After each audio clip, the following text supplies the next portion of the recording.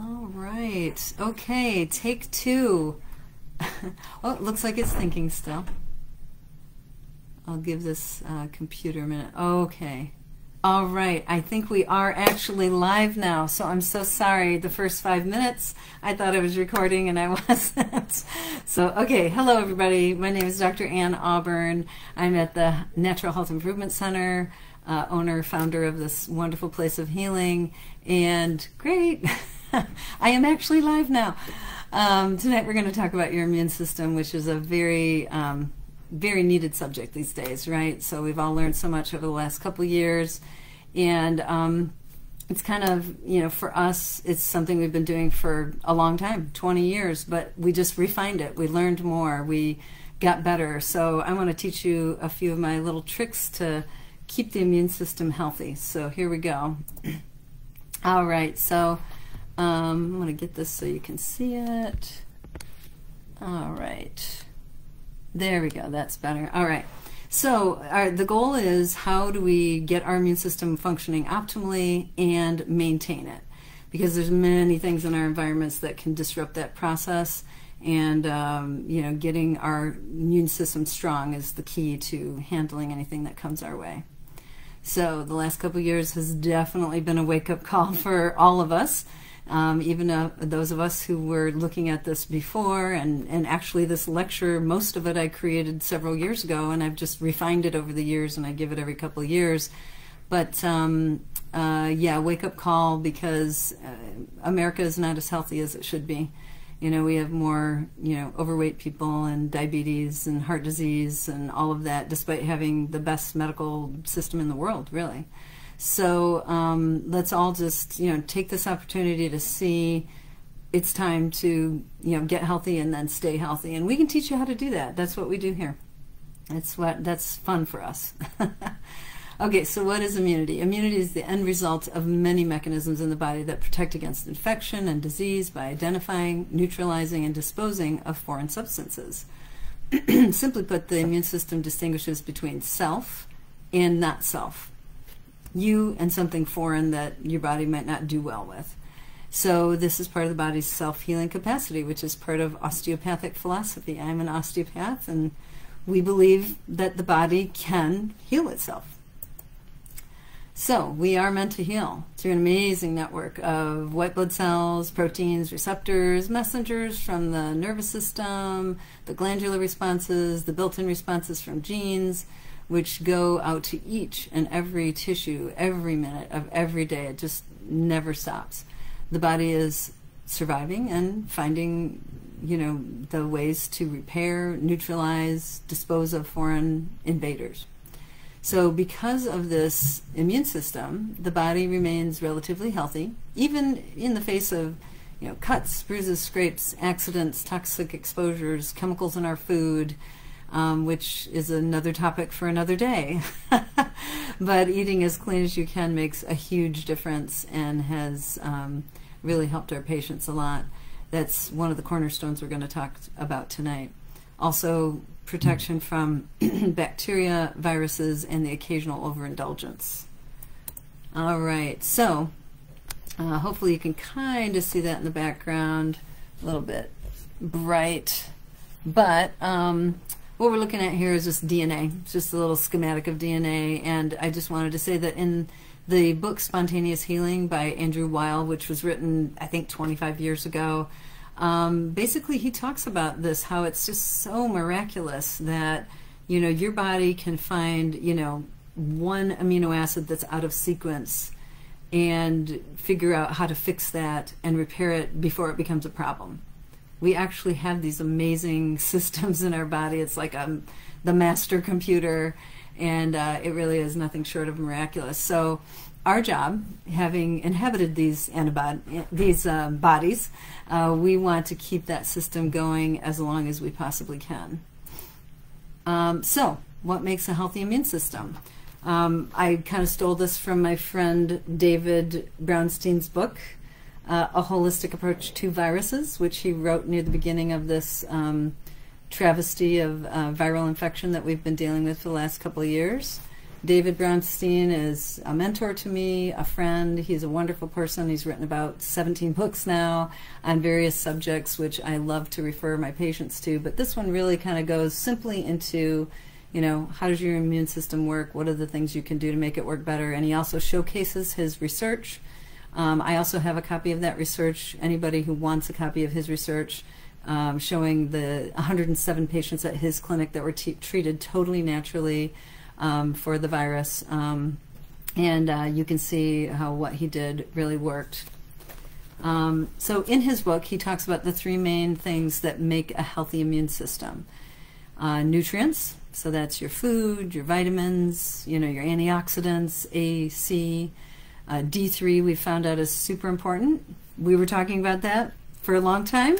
Um, I think my first lecture on that was in 2013. So um, you know, we, we've known these things all along, but it just really shone a light on how important these things are for the body. We'll talk about what vitamin D does a little bit later. Also, zinc. Um, I've measured many, many zincs over the last couple years, and pretty much everybody is not in an optimal range. You might be in the range, but you want to be in the middle of the range or higher. That's optimal, especially when you're dealing with something might come along and cause a, a a lot of inflammation and, and wreak a bunch of havoc in your body. And then iodine, quercetin, antioxidants, and more. And then oxygen. How can we get more oxygen? We can breathe better instead of shallow breaths. You know, we can de-stress, take deep breaths. Um, exercise helps that. Exercise helps your circulation, helps you get more oxygen to more places in your body. Um, detoxing, oxidative therapies that we have here at the clinic, like ozone and um, uh, hydrogen peroxide IVs and things like that. Rest. And yes, rest comes in many forms. Uh, rest can be just sleep, trying to get better sleep. Uh, yoga, mindfulness, meditation, having your praying time and your playing time. You know, those are very important. It's happiness is part of rest, resting the mind, letting the mind you know, um, reach that uh, place where it's in balance instead of like go, go, go, go all the time, always stressed, always having a problem. We want to make time to have pray and play as well. um, okay, basic biology, although it's complex, the innate and adaptive immune systems work together to provide quick responses to new and old pathogens using the tools provided by, you guessed it, nature and this has been shaped and refined by natural selection over eons of time.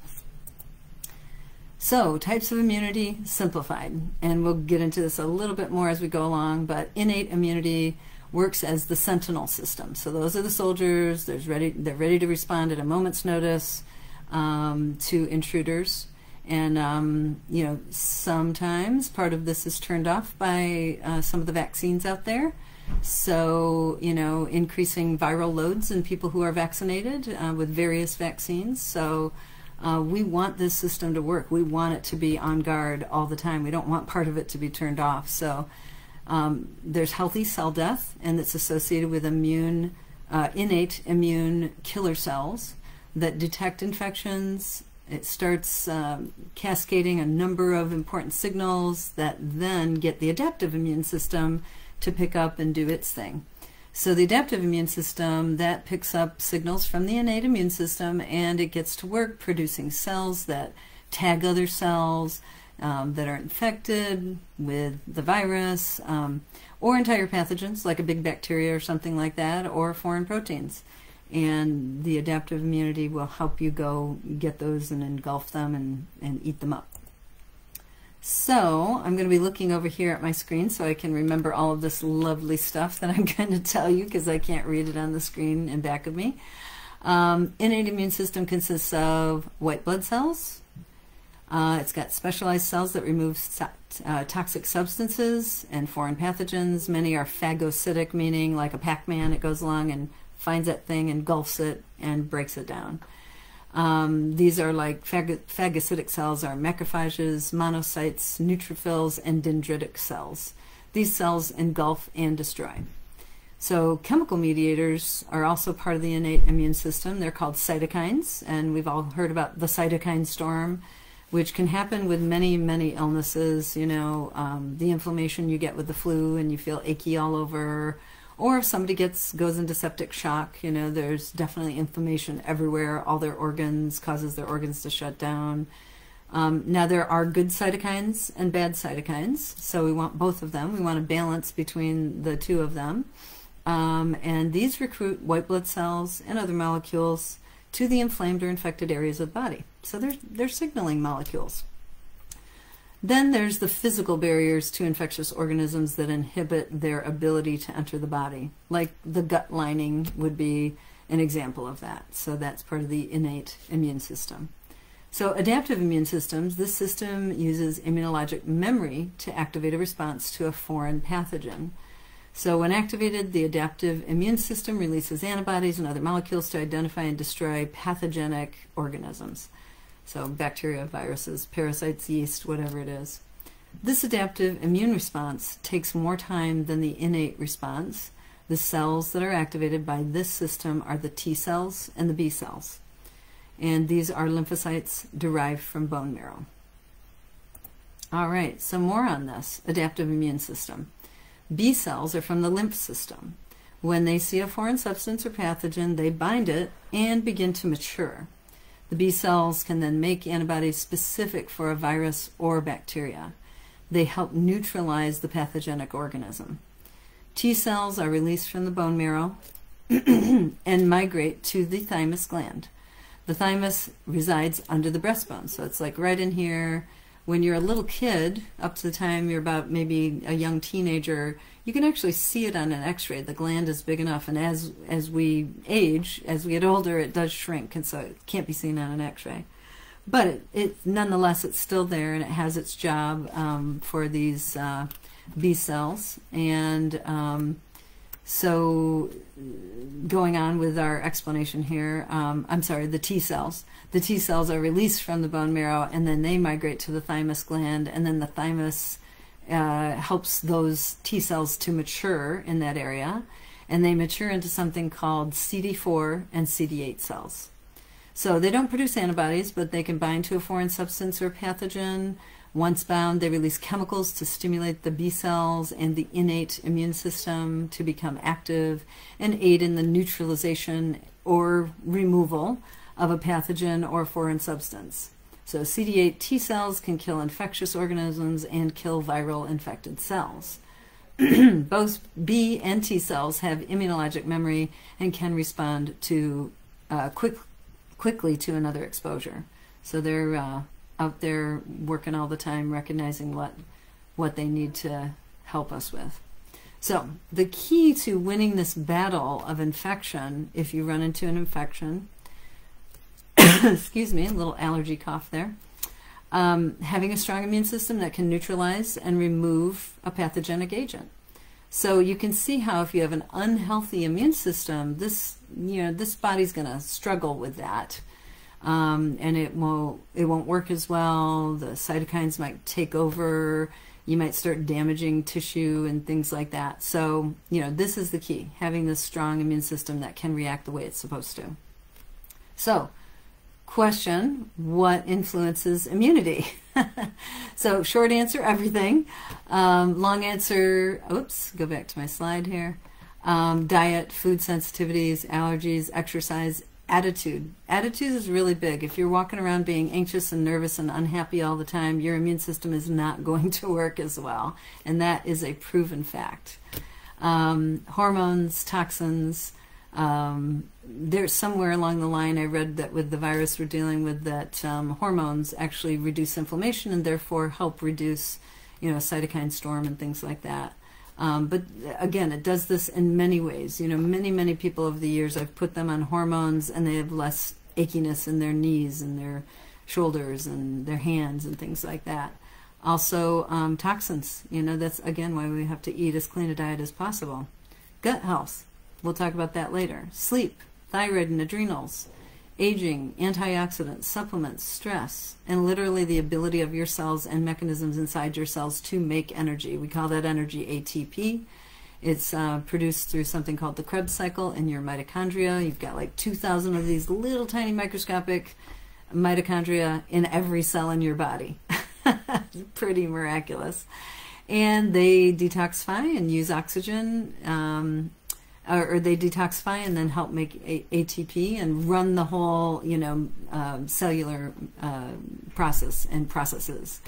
Um, and uh, also detoxifying and uh, utilizing oxygen in your tissues. Those are all really important things that we we have a bunch of tools that affect all of these things, and we just individually kind of um, administer them as needed to patients. So if you're wondering if you need any help with this, um, you know, you would have to make an appointment and we can sit down and discuss, okay, how can we maximize, how can, how can we figure out how your immune system is doing right now? So what makes an immune system weak? So, whoops, back to that slide. Obviously, lack of sleep, um, excess sugar intake, and I would say in the diet arena, and this is my friend David Brownstein says this over and over and over again too, get the sugar out sugar is the worst thing for you when you're sick. And I know sometimes when you're sick and you don't feel like making food, or the closest thing is, you know, you know, bread, you know, potatoes, chips, whatever. Please don't eat that when you're sick. and please don't eat it on a regular basis. Those should be treats that we have occasionally. Those are, you know, high carb, high sugar, um, you know, processed foods, you know. Um, so eat real food you know, eat you know real grapes off the vine. Eat real, you know, tomatoes. Eat real apples. Eat real, you know, clean meat if you do eat meat. Um, make sure you're getting enough protein. Make sure you eat lots and lots of vegetables. I feel so sad for patients who don't like vegetables or have never learned to eat them. It is sort of a learned skill, you know, to eat vegetables. And it's interesting. Once you give up sugar and you go with the natural foods and you go with the you know vegetables as like half your plate kind of thing it, food starts to taste totally differently. You know if you give up sugar i can almost guarantee you if you give up sugar for 120 days or even just 90 days your taste buds will totally change. You will have a different outlook on food things will taste differently a carrot will taste sweet to you so that is the biggest thing with diet. Give up sugar. Sugar is, you know, we know like a can of Coke, you know, all the sugar in that reduces your immune system uh, function through the white blood cells, the white blood cell function, by about 50% for three to five days. Yeah, so that's the last thing you want to do if you're sick. So, oops, change my slide again there. So also um, poor oxygen utilization um, our ozone therapies will increase your ability to use oxygen at your tissues. Poor energy production, that's the mitochondria I was talking about. Toxic exposures, chemicals, solvents, things like this. We have um, info sheets.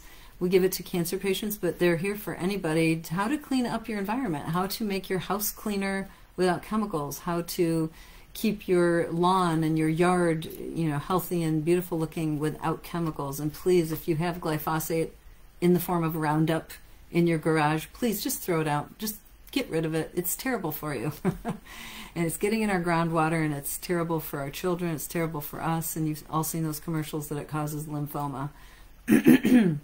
all right, a diet high in processed foods again. Um, eat real food. You know, yes, we all eat processed food once in a while. I do have a few boxed items that I keep in my cupboard. And, you know, I choose them wise, wisely. Most of mine are, you know, not uh, they don't have gluten in them they don't have sugar in them they don't have you know a lot of chemicals in them that sort of thing. If, if i'm going to eat you know boxed or prepared foods i'm going to be very very picky about that. Um, also the attitude like i said earlier poor attitude is bad for your immune system. Uh, stress especially if it's chronic uh, overuse of antibiotics overuse of medications um, poor gut health we'll talk about that later and overweight, obesity, and um, these are some of the people in my practice I saw get the sickest. Um, I actually had a, a, friend who passed away, just 49 years old, down in Florida, because of many factors, but one of them was he did not control his weight well. Um, hormonal imbalance, serious infections, and aging. So sadly, yes, aging is hard on our immune system, but we have so many tools. You know, you can grow old gracefully and keep your immune system young and you know keep this body functioning like it's 10 or 20 years younger unhealthy americans so sadly yes the us population has been unhealthy for decades two thirds of Americans are overweight. Um, one third of the Americans Americans are over are obese. Um, there are just too many chronic illnesses like diabetes, cancer, hypertension, heart disease, and autoimmune disorders. And they're all on the rise, especially in younger populations. And there's predictions that the uh, people younger than I'm 58, so that we're in the you know 50s, 60s group. You know, um, our our kids and their grandkids are going to live less long because of all the chemicals in the world. so yes, unhealthy America in comparison to other Western countries, nearly every category that's used to measure health, whether that's infant mortality, maternal mortality, chronic illness, and longevity, Americans are either last or next to last in every category. It's pretty sad when we have the best system in the world, the most money, the most resources. So, there's hope though. That's the sad part. Now we're on to the fun part.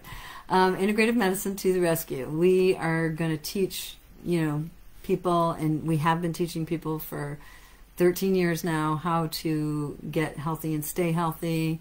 And sometimes you need a coach. Sometimes you need a little, you know, somebody who is cheering you on and telling you how to do it and getting you past those little kinks and um, in the road or you know in your path. And, um, you know, I've been doing this for over 25 years now, and it's amazing. I have seen some of the most unhealthy people just kind of turn around, change that trajectory to, you know, health and wellness and just really change their life. It can be done. So, so remember, nutrients, oxygen, and sleep. So we'll talk more in detail about what else strengthens the immunity. So healthy lifestyle, positive attitude, um, reducing the intake of allergic foods. So this, of course, the sugar and everything, but also if you haven't had our food, whoops, sensitivity test, it would be good to um, have that done and see if there are foods that are causing inflammation in your body.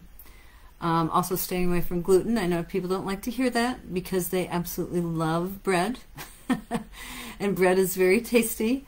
Um, every once in a blue moon, I might have you know something that's you know real wheat but I try to again choose that wisely, you know, get the cleanest form possible. And this is the thing, you know, even if you don't have celiac disease, even if you don't have gluten intolerance, like you don't get a stomach ache, you don't get a headache, you don't get body aches or whatever with it, it's just not great food in America anymore. What happens is most of the wheat in this country is sprayed with glyphosate a week or two before they harvest it so that they can, you know, keep the weeds down and get more out of that um, you know crop before they harvest it and it's you know because it's hybridized and crossbred it's now 42 chromosomes it used to be 14 and because of the fact that it's um, changed in its chromosomal makeup the gluten is now almost like an opiate. It goes right to the opiate receptors in your brain and that's why people get so addicted to it. And just the smell of bread it's just like i have to have some you know?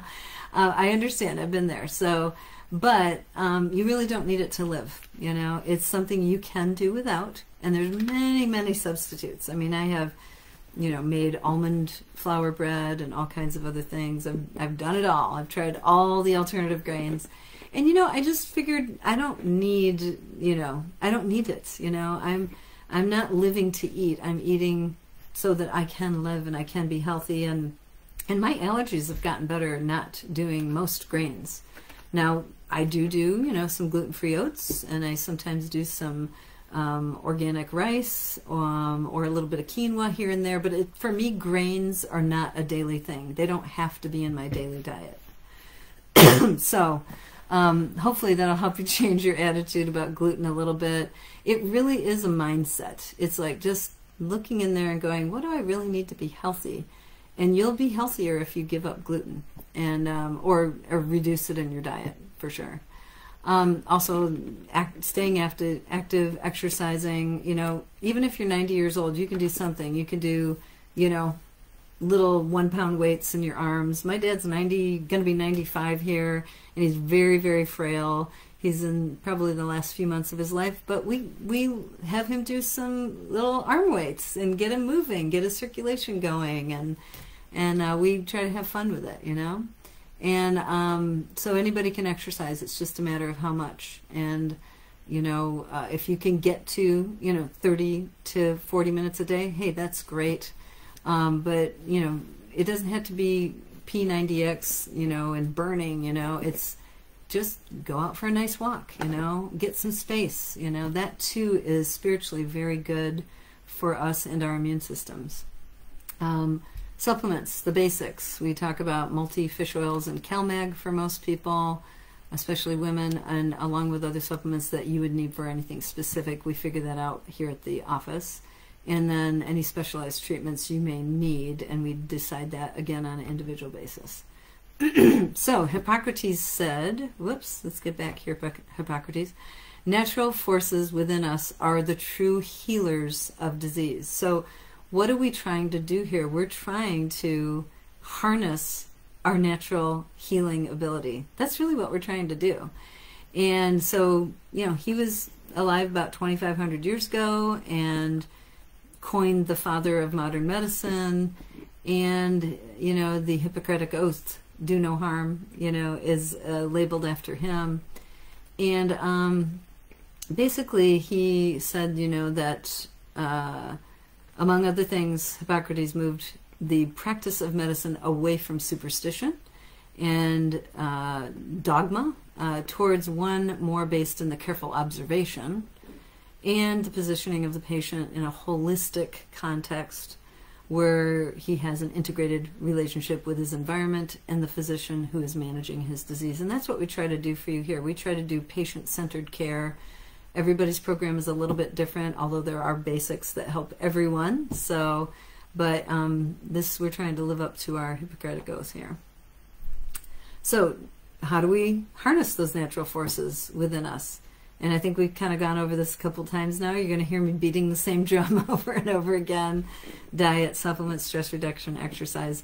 Now, one thing I didn't say earlier is hydration. That's another biggie for my friend David Brownstein and all of us physicians that practice integrative medicine. You've got to hydrate the body. Um, you know, at least 60 ounces a day. You know, if the bare minimum you can get in is like 50 ounces, okay, go for it. And at first, you are going to have to pee more. That's just, you know, what happens when you're putting all that fluid into the body. But your body does get used to it after a while. And even if, you know, you have prostate problems and you have to urinate a lot or you have an overactive bladder, you can take your um, water in segments, you know, like I try to do like three or four glasses in the morning. So I've got almost half my water done already and then I try to drink one kind of in the middle or end of my day, and then I'll, you know, like tonight when we're done here, I'll probably have two or three glasses and try to get that in before, you know, nine o'clock, uh, so I don't have to get up a lot in the middle of the night or anything. So hydration is super important. It's the it's the body's solvent, and it helps clear waste products and toxins and all kinds of things. So make sure you're doing that. um, Self care, doctors and allied health practitioners um, what I wanted to say about this is there is a lot we can teach you to do for yourself, and I'll help you learn what that is. But some things you do have to see us for, you know. And so sometimes when you call in and you ask questions and you want to know things, you know, if it's starting to like be like a visit, you know, through the nurse, we often say, you know, come on in, you know. Now, during this time of the you know crazy virus, we are not seeing people in the office that have symptoms of that unless they've had a negative test. So that's just the way we're doing it to protect our staff and to protect our other patients. We are dealing with a fair amount of uh, patients that have cancer now, and we're supporting their immune system, so we don't want to take any chances. So if you just think there's a slight possibility that you have a sniffle or you have a headache or you have nausea or anything like that, um, and you're scheduled to come into the office for something, go get a test first. If it's negative, it's fine. Um, if um, you know if it's positive, then call us and we'll help you get through. All right. Um, so, anyways, the great thing is we can do something about the immune system and we can individualize it to you. so, nutrition.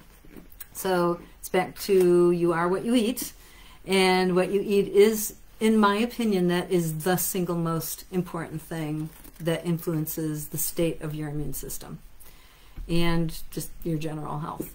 So, nutrition is the fuel that maintains, drives, detoxifies, repairs the human body and every living organism on earth.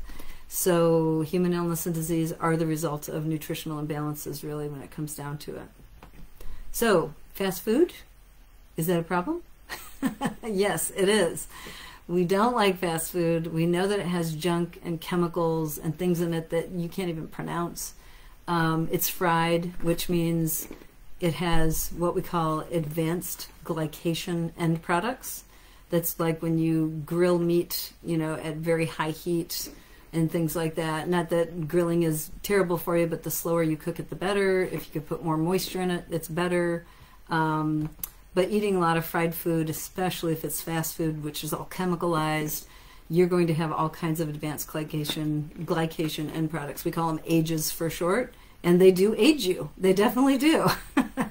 and um, they're they just cause a lot of inflammation and disrupt various systems and we don't want that junk in our body okay occasionally if you're on a trip and you know you didn't pack enough snacks or something like that um, and you have to stop and get fast food just get the cleanest thing you possibly can like a grilled chicken breast a salad um, mcdonald's even has you know apples you know so you know, eat real food, you know, and um, take the white bun off or do a salad, you know, and it's crazy. You can do this even if you're a truck driver. You, it's like you got to stop making excuses, really. You know, that is, you know, we're, you know, we have this tendency as humans to make excuses, you know, justify, justify, and that's not going to get you better you know, getting you better um, is going to be from making changes, positive changes. So let's get rid of the fast food. and then hydration, as I said earlier, water is an essential nutrient, helps us detox and cleanse. Two to three quarts of water daily, and sometimes more is great. Um, at least half of all the fluids you drink in a day should be water. Um, more is better, basically. Now you can drink too much water too. I I don't think I'd do more than a gallon a day, but um, and you know I don't really believe that a person should drink half their body weight in ounces. I'm not. Um, I don't agree with that exactly, um, but I do think that water is important and it should be clean water, purified water, or really good spring water. Um, if you do uh, reverse osmosis water, you should put mineral drops back in it. Um, I have mineral drops because I have reverse osmosis at my house, and I get these drops called pH protector drops. And I just buy them online and I put them in anything that I am making with that water. Um, but yeah, 64 ounces should really be your goal. And remember, if you're drinking something caffeinated like coffee, that's a diuretic. So that is going to steal some of your water. So for every cup of coffee, you drink another half cup of water, okay? Um, stress reduction. Happy people are far less likely to get sick. All organisms have a common biological response to negative sensory and psychological stressors. And they've actually measured this having people watch sad movies and they cry and they collect their tears. And they show that the people who watch the happy movies, um, their immunoglobulins are much greater than the people who um, watch the sad movies. So um, definitely those um, types of things affect your immune system. So go out and watch lots of funny movies, only comedies. Um, unfortunately, it does seem that it happens all too often in the world today um, that there's a lot of stress. So, what can we do about that? so, these are some stress busters. And by the way, all of this is in a PowerPoint. We, you know, usually do them about six per page or something like that. If you want a copy of it, or I think we could probably email it to you. So if that's something you want, you can call the office. We'd be glad to get it to you. Um, but Stress Busters, join a social group, uh, play tennis with a friend or something, um, talk to a close friend, maintain your friendships. You know, those have to be nurtured too, just like uh, marital relationships. Um, maintain a healthy balance. Whoops. Maintain a healthy balance of food. So don't overeat. Don't undereat. You know, get a variety of foods. You know, vary your foods throughout the week, and you know, try to get your veggies, your fruits, and your proteins in there, and then good fats. Now, some people, you know, they eat more fat. I'm not a person that can do that. I don't do well on those diets, but I have a lot of patients that do very well on the keto diet or the paleo diet um, where the fat content is higher, and that's totally fine as long as you're not eating tons of carbohydrates and junk food on the side.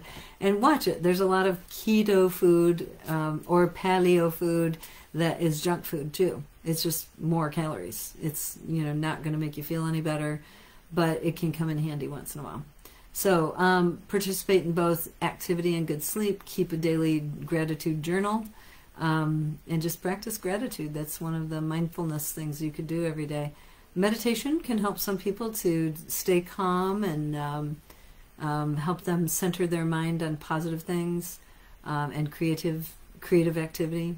Yoga, uh, that's great for breathing, um, for you know calming the body, stretching the body, things like that.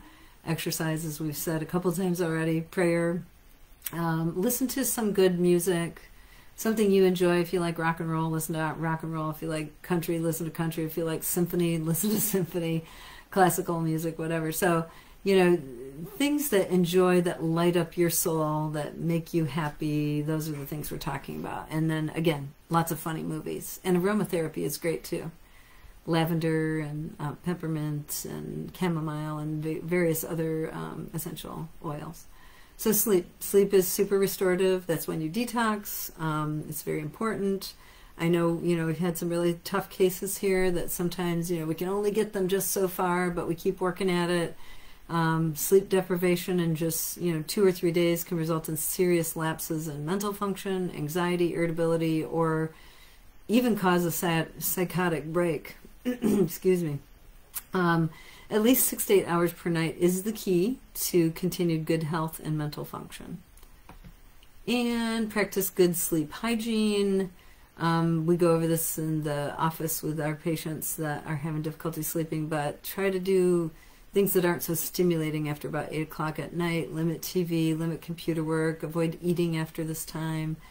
The bedroom needs to be completely dark. It's, you know, for adults, it's only for sleep and sex. For kids, it's just for sleep. um, but anyways, it's it's a place that you should go to rest. You shouldn't have a TV in there. You shouldn't have glaring lights in there. You shouldn't have a ton of electronics in there. Electromagnetic fields are a real thing, and they do they are stimulating your nervous system. You know, a lot of my patients just turn off their Wi-Fi at night. Wi-Fi is not great to be pulsing through your your body and your house all night long. Um, and, um, you know, if you have trouble with this too and you do a lot of computer work, you can get glasses. I think they're called blue glasses or computer glasses. They block out some of the the blue light, I think it is, and um, you know that can help a lot, especially if you read a lot on a Kindle or something like that, or an iPad. Um, so you might want to look into those.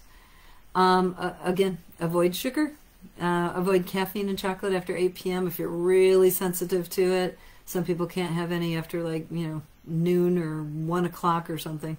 So um, control airborne allergies with dust covers, um, minimal carpeting, use air cleaners. I have one in my bedroom because I have allergies. Um, ask about natural sleep aids. We have a whole list. We have a uh, handout that's called Sleep and Stress Aids. If you'd like to get that, it's there for you.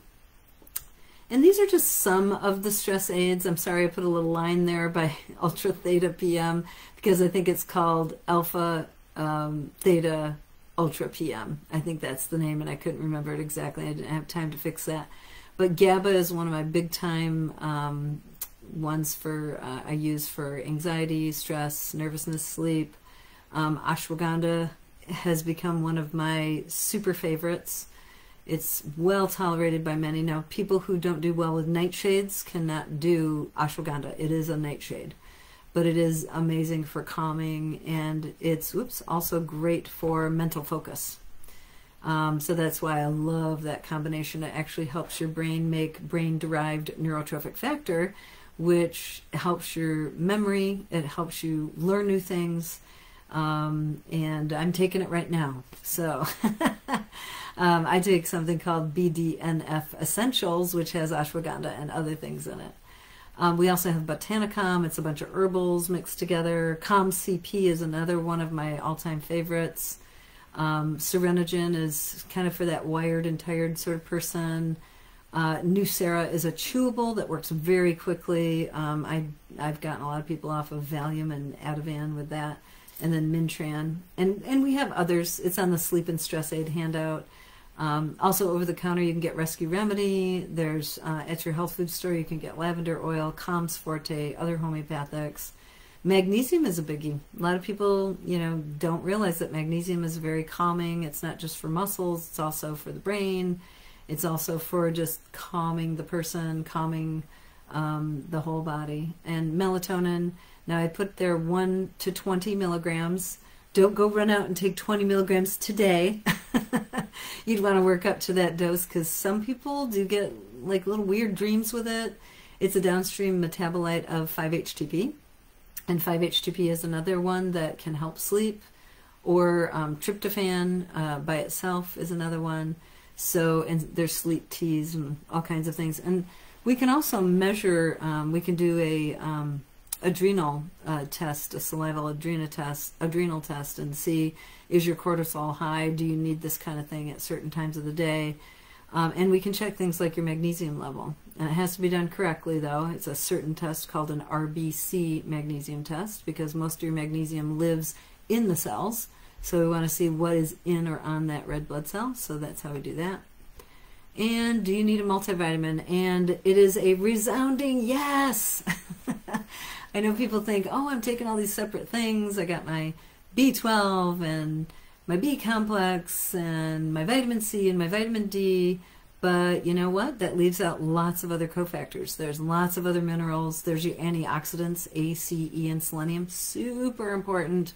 And I'm sorry to say, you just can't get enough of those in your food to stay healthy. You can get enough to live. You're not going to die probably or get a deficiency disease, but we're not talking about that. We're talking about the maximum potential of your health here. So that's what we want to strive for is, you know, maximum potential. And, um, you know, a multivitamin is just one of the easiest ways to do that. So we have some that are two per day. We have some that are four per day. Um, when people are doing some of our detox um, programs, we have them do six a day. So, anyways, multivitamin is critical. If you're not taking multivitamin, and you'll see as my talk goes on here, there's lots of different things that say you need a multivitamin. So, why do you need it? Let's take a look. Um, what nutrients does the immune system need? A, B1, B2, B3, B5, B6, B12, folic acid. Okay, so there's your B complex. Um, but are you getting the right amounts? You know, are you getting a good quality version? Um, vitamin C, E, iron, selenium, zinc, essential fatty acids, and proteins. And there's some I didn't name there, like molybdenum. Um, say that 10 times fast. So, um, you know, there's there's something else I'm missing there too. But yes, there's so many of these um, things that you need for your immune system to just function. And your white blood cells and those T cells and B cells that we talked about earlier, they need these things. And it has to be high quality. If you're not sure if your multivitamin is kind of making the cut, bring it in and we'll look at it. Sometimes we can tell from the label, sometimes we can't. Uh, but we have some clues we look at there. Okay. So also, I just want to tell you there was this British study that showed that taking multivitamin daily in just 4 to 12 weeks showed improved cognitive function with increased accuracy and speed on a multitasking test in women and men and the same for children in attention-based tasks. And so there's more studies out there. Um, I've got a whole book on vitamins and what you should take and why, and I know there's more studies that have been done on multivitamins showing that they do make a difference. So, you know, if you have a practitioner that's saying, oh, no, no, no, you can get all that stuff from your food, nope. Sorry, you know, it's just not true today, and it probably hasn't been true for about 70 years because of the food supply being tainted and processed, and we're just under more stress. We're under more stress. We're you know, hitting more chemicals every day that our body has to process. okay, supplements that enhance immunity. Um, I'm just going to kind of run through these, and then if you want to get the um, uh, PowerPoint, you can see what they are. But again, you don't have to do all of these. These are just choices. Alpha lipoic acid, it helps with many things, not um, not to leave out the one of the most important things helps your blood sugar and your insulin receptors. Um, it also is a precursor to glutathione, which helps detox you. NAC is another thing I use a lot. I take it daily because of my allergies, but it also improves glutathione. You can have your glutathione checked if you want. I think Doctor's Data does it for about $80. Um, astragalus is another amazing supplement. Um, astragalus, 1,000 to 2,000 per day, really boosts the immune system and helps it function better. Um, B complex, um, Carnitine. Uh, carnitine is another thing that helps energy, the heart and muscles. Chlorella and spirulina, more green food. Now, if you eat enough green food in your diet, you don't necessarily have to do these, but they're just another thing you can do. And the chlorella can help you to detox. Anything green will kind of bind on to toxins and pull it out a lot of times. Coenzyme Q10, if you're over 50, you need 100 milligrams per day. If you're on any drugs, you need another 100 milligrams per day. So that's why um, on here we have uh, 50 to 300 milligrams per day. Depends on your situation. Um, curcuminoids like Meriva SR. We also have two or three different versions here. Tariva from uh, Orthomolecular, and um, uh, we have another one from another company. I can't remember what it is right now, but curcuminoids are amazing. They're anti-inflammatory, but they're also anti-cancer. Um, echinacea is a powerful immune booster. I didn't put elderberry on here, but of course elderberry. Uh, don't you know? I wouldn't go crazy on it. You know, like a teaspoon once or twice a day is probably enough. Or eating actual elderberries. Um, but elderberry syrup is fine as long as you don't overdo it. Garlic, garlic is amazing. It does so many things for the human body. It's anti, you know, yeast, antibacterial, antiviral. It's good for your blood vessels. It's good for your heart. It's good for your cholesterol. And L-glutamine. I didn't know this, um, or I hadn't remembered it um, for many years, but it, it, does enhance immunity.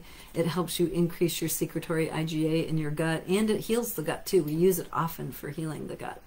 Um, and it tends to kind of reduce those cravings for sugary foods. Some people will actually use it if they tend to get a little heartburn putting a teaspoon or a scoop in about four to six ounces of water and drinking it down can calm things down. Um, green tea extract is amazing. If you don't drink green tea or you don't like green tea, I would uh, find a way to like it because it's anti-cancer and detoxing and it's amazing. Monolaurin is one of my favorite supplements. It's made from, it's lauracetic acid, which is made from coconut. Even if you're allergic to coconut, though, you can take it because it's an extract of that, and I've never seen anybody react to it that had a coconut allergy. But it's a natural antiviral, antifungal, antibacterial, and immune booster. It works in many ways.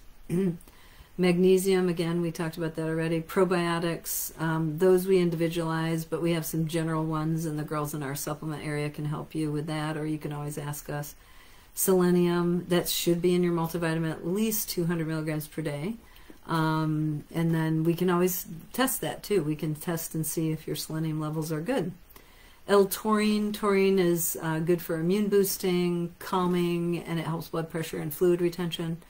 Um, transfer factor multi-immune is one of my all-time favorites. I love transfer factor multi-immune. It's got bovine transfer factor from colostrum. It's got beta 1,3 glucan, which is one of my another uh, amazing supplement, and it's got mushroom extracts. Remember, anything with mushroom extracts increases your natural killer cells. Um, ImmuCore, uh, that's a mushroom extract product we have here. ImmunoKinoko 750, another a mushroom extract product. Immune Defense is another one we have here. And then Argentyn 23 is our um, silver hydrosol, much finer particles than colloidal silver. we've got uh, spray for the nose, and we have teaspoons that you can just uh, take uh, as a almost like a drink. Uh, vitamin A and carotenoids. Um, really, everybody should be taking you know five to twenty five thousand a day.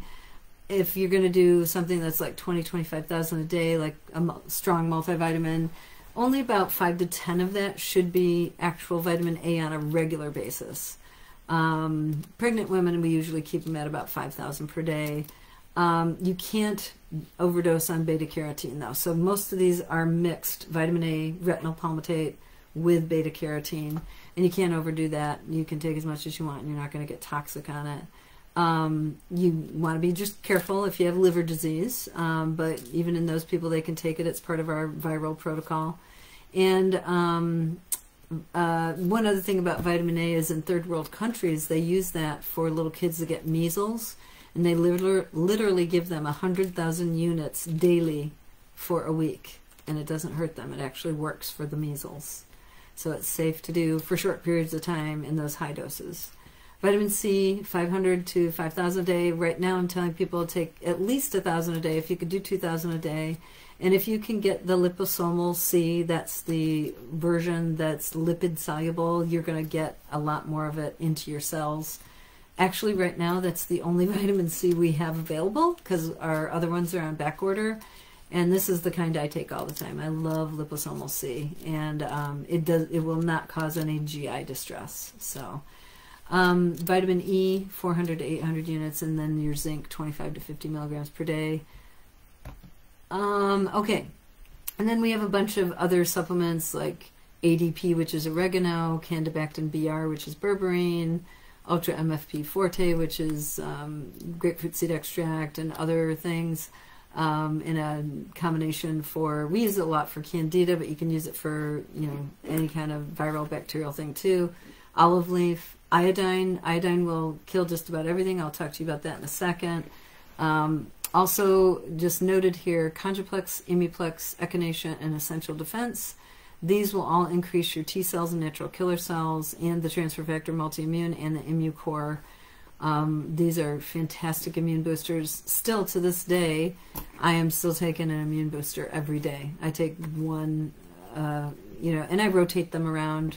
The other one that I love a lot, which I don't have on here, I forgot to update that, is Biocidin. And Biocidin um, comes in like a liquid, it comes in a capsule, and then it comes in a liposomal version, which can be fantastic for people who have biofilms from gut problems and things like that. And it's much more absorbed. So, and then uh, I think that's about it. So let's see what else we have here. Okay, iodine. Iodine's been proven to be a potent inactivating agent to the influenza virus. Like in 1918, when they had the H1N1 influenza pandemic, 30 million people died. Um, back then, they did find out, in some studies post, you know, um, the pandemic, then that it was found to be one of the most effective antiviral agents. So it improves lymphatic flow. Um, it's also um, uh, been shown to increase IgG, immunoglobulin G, in human lymphocytes, so that's a good thing. And iodine deficiency is associated with decreased phagocytic activity of those uh, neutrophils, those white blood cells we talked about earlier. And iodine has been shown to increase white blood cells' ability to kill infectious organisms. So you can read more about this in my friend David Brownstein's book, um, uh, it's just called Iodine, I think. you can buy that on his website. It's very good and gives you way more detail. Vitamin D, we could go on for, I could do a whole lecture on vitamin D. I have before, but it's an amazing nutrient. You want it between at least 50 and 70. if you've ever had cancer, you want it to be between 70 and 90. Um, and that's not just current cancer, that's like if you've ever had cancer. So and it's you know you can basically say if you don't have the ability to get your blood level checked but you should uh, we can do it here for about $50 maybe it's less than that maybe 25 or something. But anyway we send it to boston heart labs and it's way cheaper than a regular lab. Uh, but if you can't if there's some reason you can't do that i would say take at least 2000 units daily children at least 1000 units daily and even babies can take that much. Um, even the pediatric society or association, they even say breastfeeding babies should take 600 units per day. So, but get your level checked because a lot of our patients need somewhere between five and 10,000 a day. I've had people need huge amounts, and then it reaches a threshold, and then they can go down to a base dose. And you always need more in the winter, so this is actually a really good time right now to get your levels checked. It enhances mood, it helps your bones. It's super important for bones, and the level should be over 50 for that and it has the nice side effect of also reducing inflammation and can even help blood pressure. So um, I also learned in the last couple of years with our uh, viral friend that we've been dealing with, um, vitamin D helps your white blood cells make their own antibiotics. Amazing, huh? Another thing that nature does. Um, vitamin D reduces inflammatory cytokines, and then it increases the good ones, the anti-inflammatory cytokines. Um, so, sounds pretty perfect for flu season uh, or for any infection, so keep those levels up and get yours checked. Um, okay, now I just put this here just so you can see. This is on our website. If you go to our website, nhicwestmi.com, and if you go, there's a About tab at the top. And then if you click on that, a scroll down menu will come up and it'll say Patient Resources. And you click on that, and if you go to that page, we have all kinds of wonderful handouts and tips and things like that. But there's two handouts. There is um, the immune boosting handout, which this one is. And it basically goes over what I would recommend for adults and children to take on a daily basis, especially for flu season, winter, and um, especially while we're dealing with, you know, the virus. So, um, and then what I do is I say, okay, these are your basic things on top of your multi and your fish oils, and then these are the immune boosters you can choose from. And there's like 10 or 12 of them. We have lots of them, and I've had patients bring in other ones that I've never even heard of that are amazing. so you have to do something for your immune system in this crazy time, and especially in the winter. It's just a really good idea. But what is the best thing for your immune system?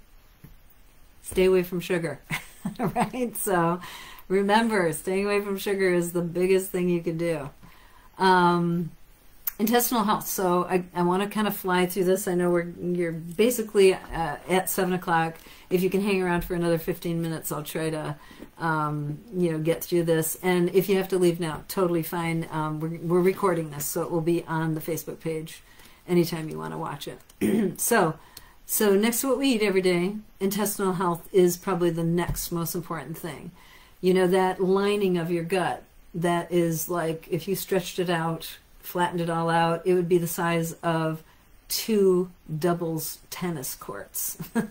so you've got a lot of things going on in that lining. It's really important. That's your it's a major barrier for toxins, you know, and things like that. And if it gets damaged, like many Americans it is, and you have leaky gut syndrome, then you are, you know, letting toxins and foreign materials and um, allergens and things like that just go right back into those little microscopic cracks in the wall. And it goes right back to your uh, lymphatic system or right back to your vascular system. And then you got to deal with that stuff all over again. It's hard on the liver and it's um, hard on the kidneys and it's just hard on your immune system. It takes time and energy to deal with that. So why is this? It's because you have the gut associated lymphatic tissue galt. There is so much lymphatic tissue that lines your intestines.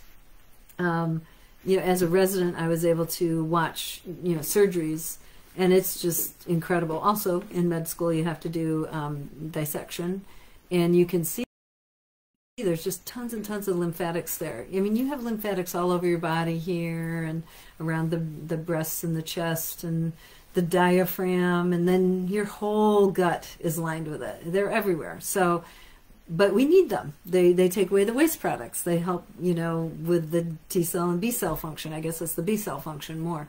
But um, you know, basically scientists that study this sort of thing, they have observed that 60 to 70% of the immune system is in your gut. So your gut's really important.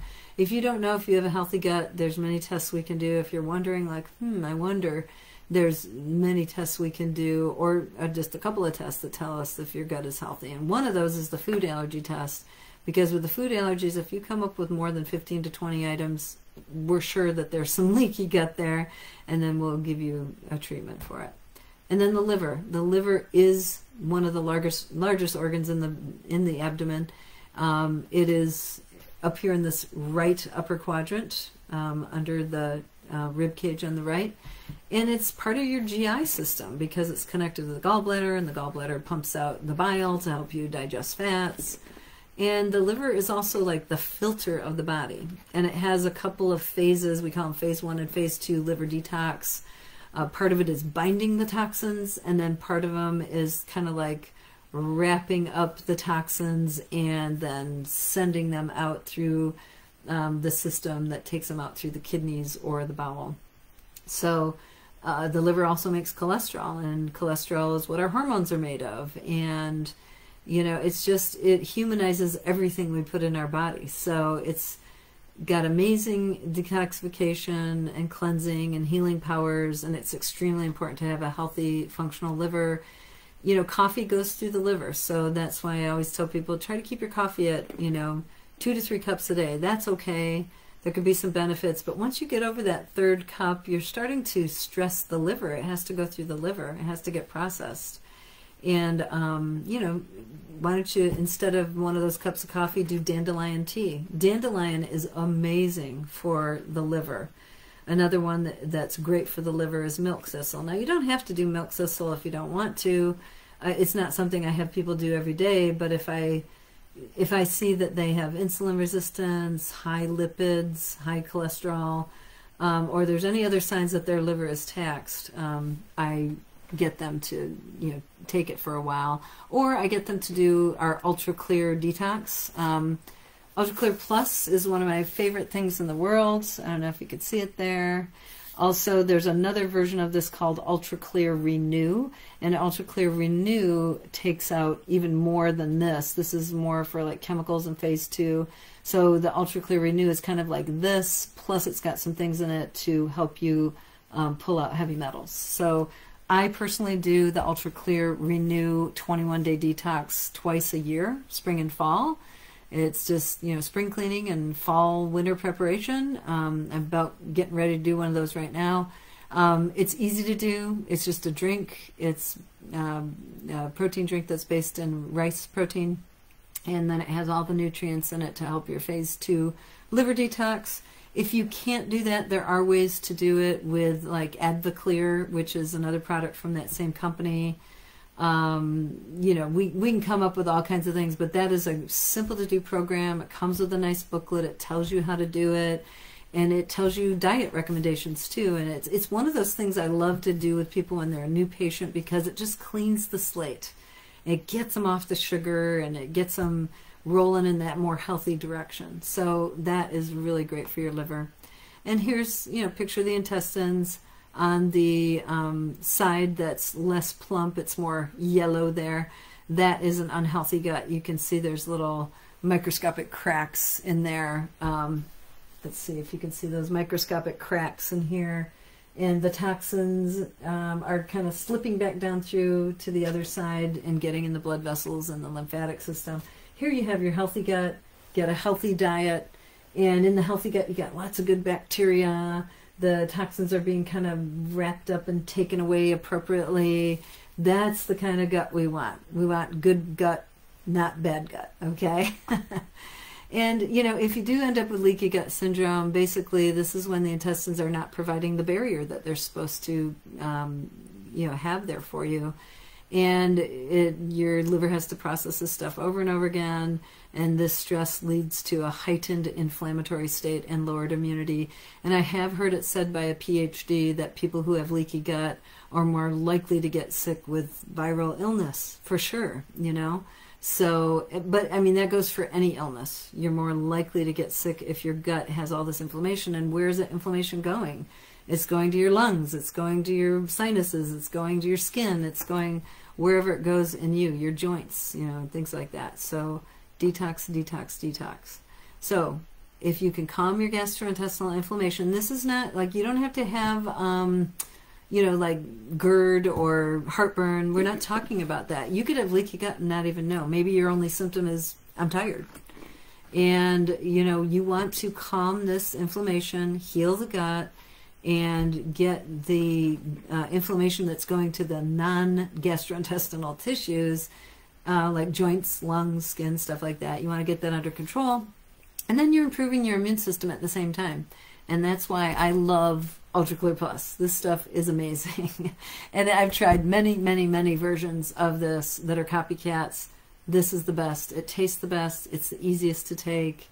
Uh, it's actually enjoyable. So and here on these slides, we're just flipping through all of the various things. I mean, look at that fever of unknown origin, phlebitis, vasculitis. These are related to leaky gut.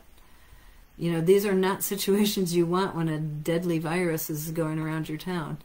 Um, you know, candida infections. We have a simple blood test for about 70 bucks we can do to see if you have that. Um, but all these things, aging, acne, colitis, um, eczema, irritable bowel syndrome, etc., etc. And the list goes on.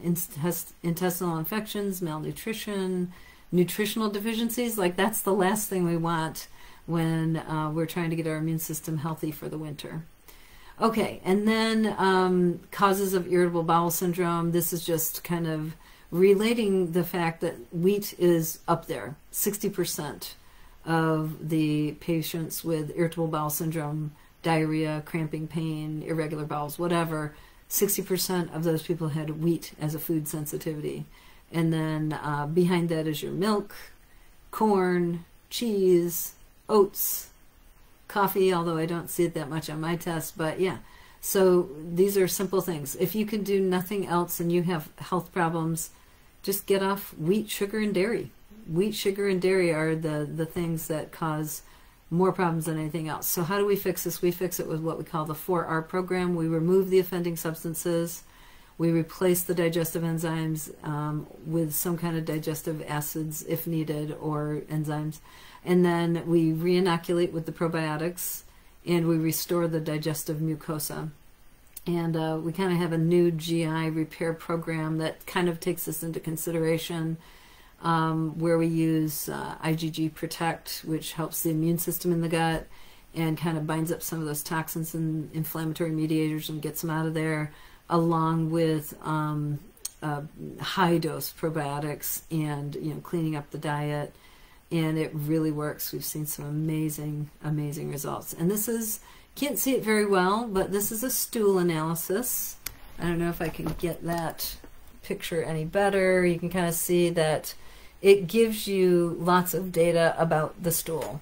Like things that you'll have on here are um, how many good bacteria do you have? Um, do you have inflammation in your gut?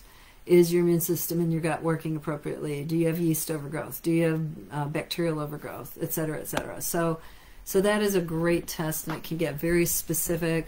We do have some even more involved um, tests that we do for the gut that will tell you like what kind of good bacteria have, and um, you know, good bacteria. Do you have enough of them? Are they out of balance and things like that?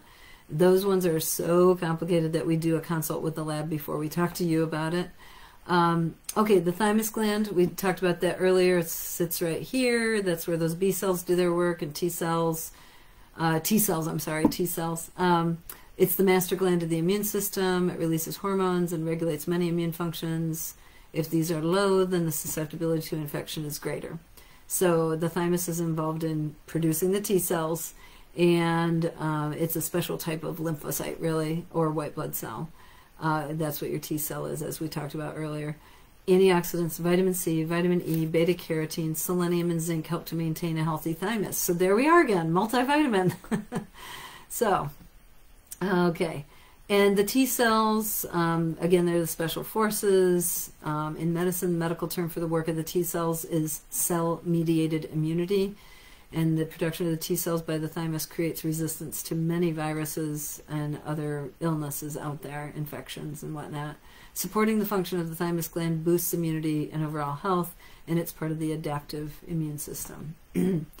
so, um, thymus gland extracts that we have at our practice, um, like Congaplex and Immuplex and the like, um, they help to improve the ability of your thymus gland.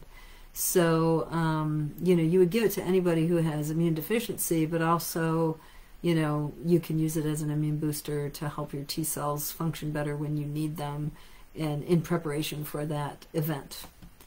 So, Congaplex and Immuplex are those. Um, they also contain um, enzymes and coenzymes and synergistic cofactors, but they do have the thymus gland extract, usually from bovine source. Um, so, um, if you don't like, you know, this because maybe you're vegan or vegetarian, or you don't like stuff from animals, then we can do the transfer factor multi-immune, and those will help in a similar way, but not specifically for the thymus. So, um, essential oils. I don't know much about this subject, but I do know that it's in my Biocidin product, and Biocidin is amazing. It has activity against like Lyme and strep and all kinds of crazy viral infections, things like that. So I love Biocidin. It's one of my favorites. And again, yeah, there's other things you can do with essential oils that I don't know that much about, and there's uh, specialists in the area we can refer you to if you want more about that. Um, so, again, um, when you're sick, um, you can, in preparation, go to our website, nhicwestmi.com, hit the About tab, hit the Patient Resources, and you'll see the immune boosting protocol that I showed you earlier, but then there's one called Immune Support for, vi- for Viral Illness. We've always had something like this, but because of the uh, crazy viral problem we've had these last two years, we basically upped our game and made it very clear and concise and with what your options are. And uh, when you're sick, we have you increase some nutrients like vitamin C, A, and D, um, and uh, zinc in, uh, for uh, a good five days, you know, so that you're really hitting it hard. Like literally, we tell adults to do 50,000 units a day of vitamin D for five days. Um, some references I've seen say up to 200,000, but I probably wouldn't do that myself. But um, but then, of course, um, we've got quercetin in there because it helps zinc get into your cells and it's anti inflammatory and reduces cytokines. Of course, pregnant women and infants, you have to kind of um, take that into consideration. And there are some comments on there about what to do in those situations. Also, you should be prepared with a hydrogen uh, peroxide nebulizer uh, treatment kit. Okay, we'll call it that. Uh, this is on the immune support for vi- viral illness um, protocol handout. It's on our website, so you'll see it there. Don't wait until you're sick to get a nebulizer. It's just, you know, I, I really kind of learned my lesson this year uh, with people having to scramble to get this at the last minute. And when you get a nebulizer, get one that has a mask. Okay, you want a mask because you want the uh, hydrogen peroxide diluted down with the iodine that you're going to put in there. You want that to go into your nose and your mouth because the main place that viruses go are in the nose, but they can also get in through the mouth. They can get in through any orifice, but those are the main places. So get a mask, not just something that has a tube that goes in your mouth. And then we have the recipe there of how to dilute it. It's basically a tablespoon of 3% hydrogen peroxide and you put that in about eight ounces of water. Now, when we surveyed my um, integrative medicine group, there was all kinds of recipes. There's a, a, lot of ways to do this. So, and most of them are very, very safe. Uh, they are all very safe. Um, if it burns and you don't like the way that makes your back of your throat feel, then just do you know dilute it a little bit more.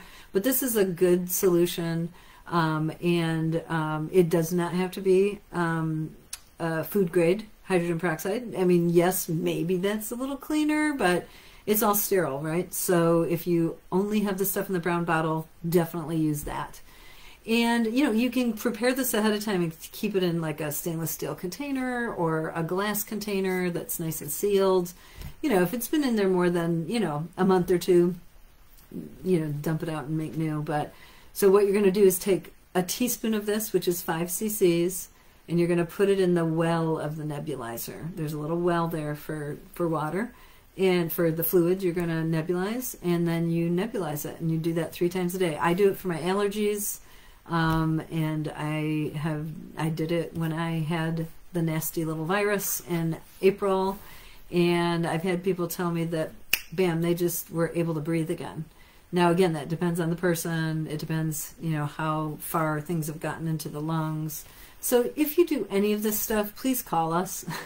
you know, we're here for you if you're a patient of ours. If you're not a patient of ours, we are setting up a system uh, where we can, you know, take care of people. I can only take care of people in Michigan. I do not have a license anywhere else. So, um, anyways, we will help you through it and help you get what you need. And um, lastly, I've also got some info on detoxification. Uh, we talked about that earlier. I think that's super duper important. That's why I do the Ultra Clear Renew um, twice per year. And, um, you know, there's other ways to do it. We've got listed here alpha lipoic acid, NAC, taking your basics, drinking purified water, exercising, sleep.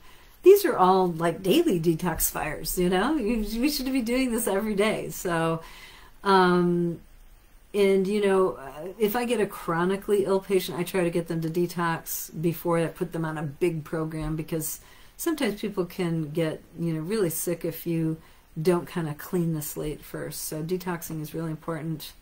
And um, again, here the Ultra Clear Renew or Ultra Clear Plus. Um, there's a whole family of Ultra Clear supplements.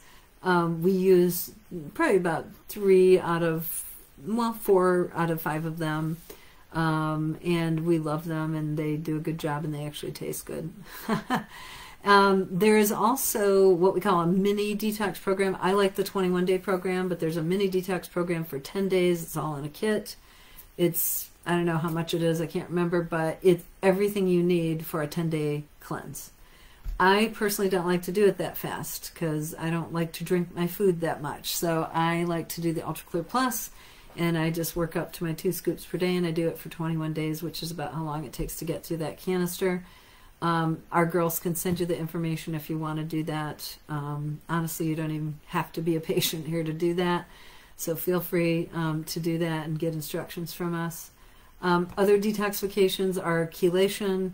Uh, I'm not going to get into the chelation too much today, um, but just let's suffice it to say that Chelation comes from the Greek word chel, it means claw, because chelators are specific molecules that go in and they find a heavy metal and they throw out their salt that is part of their molecule and then they grab the heavy metal and they will not let it go until the body pees or poops it out, okay? And that's chelation. And we have oral chelation, we have IV chelation, we have gentle forms, we have more, you know, heavy duty forms.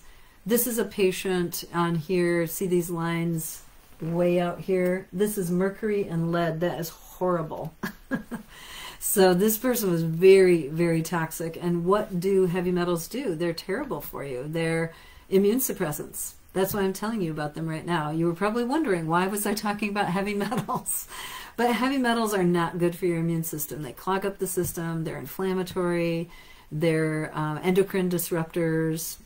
And if you look here, this little um, uh, thing here shows you that, whoops, when you have mercury, lead, arsenic, nickel, cadmium, or tin in too high of numbers, it decreases the cell numbers and the phagocytic activity. Remember, we were talking about phagocytes at the very beginning of this talk.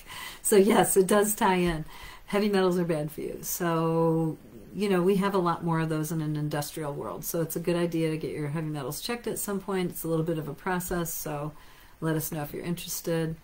Um, also, one thing I should say about that is please, if you have silver fillings in your mouth, please get them out. They're terrible for you. Every time you chew, drink something hot or cold, and your teeth expand and contract, those heavy metals are coming out and they're getting into your body and they're hard to get out once they get in. So just have that stuff removed if you have to, you can do it one at a time, one at a time. Once, you know, I, I had eight of them removed, and I did it over 20 years ago, and I'm so happy I did it because I don't have that burden on my body anymore. Um, but yeah, heavy metals definitely. Um, they're not great for your gastrointestinal system. They're not great for your immune function, and they're terrible for your immune status or your nutritional status. So those are nasty little buggers. I won't go into the individual ones, but they are listed there for you if you do want to get a copy of the PowerPoint. Um, hormonal imbalance or hormonal balance. Um, again, all of these things do affect your immune system because they affect your metabolism, your ability to burn calories, um, your ability to um, you know pump blood the way you should, um, your heart rate, your blood pressure, things like that. So thyroid, adrenals, these affect your sleep, your daytime energy, your happiness um, male and female hormones. Now, I know a lot of people are like, hormones, but if you feel like hormones are bad, you need to read the book Smart Women Safe Hormones by Lindsey Berkson. She's a friend of mine and she has just a super scientific mind. And she shows you that all three studies that have been done with hormones, hormones, placebo, follow them years over time that um, it, it, shows that there is no increase in cancer of any kind. And there's no um, increase in um, any kind of heart disease either. So hormones are good for you. Of course, we take people off of them if they get cancer, but that's not the reason you got cancer. Cancer is the sugar, the toxins, the being overweight, you know, all the other things I'm talking about. It's a dysfunctional immune system, so it's not the hormones. And, um, you know, I know that's not what you hear from, you know, your traditional doctor, but it's true. okay, so hormonal balance is important, and they help your circulation. They estrogen and testosterone protect the heart, protect your circulation, reduce inflammation, and that's what A.T. Still, the founder of osteopathy, said. The rule of the artery is supreme. And what does that mean? It means circulation. I mean, look at this. Oh, you can't see it there, sorry, but um, this is, whoops, sort of, you can see it there. It's all the blood vessels of the body. So, anyways, blood vessels are super important. They carry all the nutrients, the oxygen, everything, and the lymph flow is the other side of that that takes away the waste products. Super duper important. That's why we're talking about all this stuff. And hormones help that. So, and exercise helps that. We already talked about that. So get out there and exercise. Do whatever you can, even if it's just to smell the roses walk, even if it's just, you know, the weights in the chair, you know, wiggling your toes. You got to do something. Um, also, just real quick, I wanted to tell you about some of our IV stuff. Um, we have lots of IV nutritional supplementation, and it's great for people recovering from acute illness um, especially with the virus, what we've done is had um, people come in and get after they're um, done with the acute part of the illness and recovering. If they need it, we have them come in and either get uh, ozone IV, which um, has many effects on the body, and uh, vitamin C IV. And you can run them one right after the other as long as you do the ozone first. Or some people just opt to do 25 grams of vitamin C and do two or three of those, and it really helps to get their immune system functioning again, reduce inflammation, improve oxygenation. So, you know, when you're preparing for surgery or recovering from surgery, or you have chronic fatigue, or you're dealing with Lyme, you know, uh, or you're dealing with cancer, your best bet is IV nutrition because you're going to get the most to the tissue through the IV. Orally, you're always going to lose some you know, we've found other forms that are um, better, you know, and absorb better. But IV is, you know, king. It really is. So if you can afford it, if you can do it, you know, sometimes some of my patients they just come in and they'll get a Myers cocktail. Sometimes we call it a super Myers. Vitamin C, uh, B complex. Um, oh, oh yeah, there's the ingredients for it there. Um, magnesium, calcium, B complex, B5, B6, B12, and vitamin C. And tr- trace minerals is also in the larger version called the Myers cocktail. We have a smaller version that you can push over about 15 to 20 minutes. That's called a Gaby Wright IV push. The IV takes about 45 minutes. So um, they're amazing. And, you know, if you get one a week for four of them, you're going to be, you know, really better off this winter. Um, yeah, I won't go into the theoretical basis for IV treatment because I just kind of told you you just get more out of it. Um, and a, a, lot of things are improved by the Gaby Wright IV push or the Myers, Myers cocktail. Dr. Uh, um, Alan Gaby wrote a paper on that, and asthma, allergies, chronic hives, migraine headaches, muscle pain, upper respiratory infections, chronic viral syndrome, depression, narcotic withdrawal, athletic performance. All of these things are improved with these. We also have an IV called the Half Felice IV now, the half Felice is an amino acid IV, so just think repair. So we use it often after surgery and before surgery, severe fatigue, chronic fatigue, um, broken bones, um, people who are really struggling with adrenal fatigue. It's more expensive. Um, so it's, you know, unfortunately over the years the price has gone way up, but it is really amazing and it helps healing. Um, and then our IV vitamin C, there's over 1,200 medical and scientific journal articles. It's not just for bacteria, as a doctor recently told me. Um, it is for viruses. It is for many, many things. It's been studied in sepsis by Dr. Marek, M A R E K. He's part of the FLCCC.net uh, critical care medicine group that is um, saying this should be done. Um, and it just continues to be one of the most researched substances in the world. Linus Pauling got a, a, Nobel Prize for his work. And there's a really great guy, Dr. Thomas Levy, L E V Y. He's an MD, also an attorney, and he wrote a book. And the book is called Vitamin C Infectious Diseases and Toxins Curing the Incurable. And um, it really goes over everything. And, you know, I've talked to him personally on the phone, and he's like, you know, if you can't do the IVs, do any form of oral vitamin C you can. Something's better than nothing. But we love the um, uh, liposomal vitamin C because you get so much more and it doesn't bother your gut. And then ozone IVs. Um, again, I'll just real quick go over the fact that these things are amazing for your immune system. It stimulates the production of white blood cells. What were we just talking about? Interferon levels are significantly increased. They orchestrate your immune system. It stimulates the production of tumor necrosis factor. Uh, it stimulates the secretion of IL 2.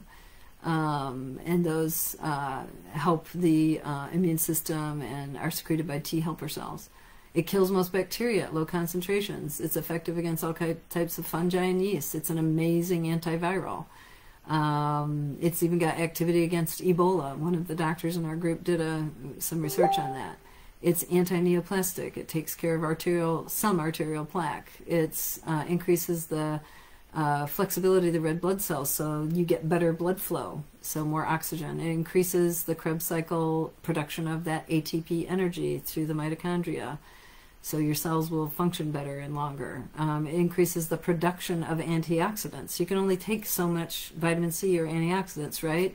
And they get used up right away. Well, this helps you produce your enzymes that help you make antioxidants. Um, and it breaks down petrochemicals, another wonderful thing. So, and then we also have ultraviolet blood irradiation, um, also known as photoluminescence. And it was used extensively in the 40s and 50s to treat many diseases septicemia pneumonia tuberculosis arthritis asthma etc so um, we have that machine here. We often combine it with the ozone. We call it ubi with ozone and so you can do both of those at once for a really powerful treatment which we often do for um, our lyme patients and then acupuncture acupuncture improves circulation boosts immunity addresses allergies and um, other environmental things that you might be reacting to. Um, it enhances detox. It's stress relief. It help you can get help with smoking sensation cessation if you are a smoker, and it increases the level of the circulating endorphins, the feel good chemicals, and those are anti-inflammatory. So we have all these tools here, and we're here to help you. And I'm so sorry I ran over by about a half hour, but I just got through 90 slides. So, but I hope that was helpful to you. I hope that you learned a little bit about the immune system. And I wish you the best of health. And if you have any questions, please call us. Visit our website. We have tons of wonderful information there. And if you'd like a copy of our PowerPoint, please let us know. We'll get it to you. All right. Thank you and good night. Bye now.